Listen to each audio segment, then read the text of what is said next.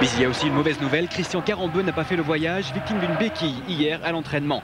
Tout cela n'entame pas la belle amitié qui existe entre Suedo et le millénaire. Ce derby promet d'être chaleureux.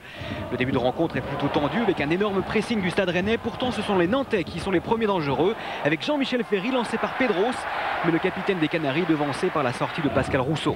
Les Rennais s'offrent leur première occasion peu de temps après. Loïc Lambert qui centre pour Marco Grassi. Le Suisse ne parvient pas à cadrer son coup de tête. Situation identique, mais de l'autre côté du terrain, avec euh, Patrice Loco dans le rôle de l'ailier centreur. Et dans le rôle du preneur de tête, Benoît Coé.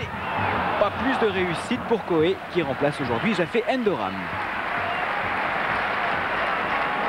Et puis, après 34 minutes de jeu, L'un des projecteurs du stade disjoncte, Monsieur Harel décide d'arrêter la rencontre pendant plus de 10 minutes. Les Nantais en profitent pour reprendre leur réunion. Apparemment, il y a encore quelques ajustements à faire. Sur les remontées, sur les remontées quand on, monte, on est, au niveau des milieux. Et l'écart, il, y a toujours un Alors, voyons si ces quelques réglages ont été profitables aux Canaries. Capron pour Coé. On cherche Loco.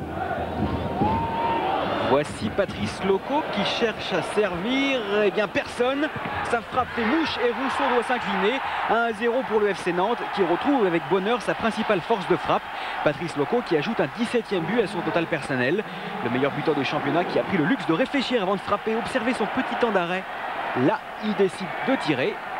Et Jensen dévie sa frappe, ce qui explique que Rousseau ait été trompé.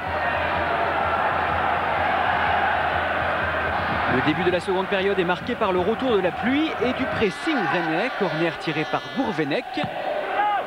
Et but, 5 petites minutes après la pause, le stade rennais égalise et c'est Gourvenec lui-même qui marque.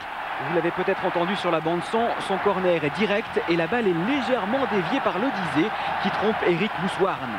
Un partout, l'opposition est équilibrée, même si l'on sent un peu de fébrilité de part et d'autre. Nouvelle occasion nantaise, Coé qui sert Loco, qui gagne son duel avec Rousseau et le ballon va mourir à l'extérieur du but. La déviation involontaire de Rousseau est suffisante pour empêcher les Canaries de reprendre l'avantage. Rien à faire, cette balle ne rentrera pas. Un partout sera le score final. Le plus petit déplacement du FC Nantes aura tout de même été laborieux. Alors Loco est le meilleur buteur du championnat de France, c'est confirmé. C'est également le meilleur buteur dans les matchs joués à l'extérieur. Il a déjà le Lyon et du Paris Saint-Germain. Cannes est toujours européen, mais attention, Lens revient bien. Lens qu'on verra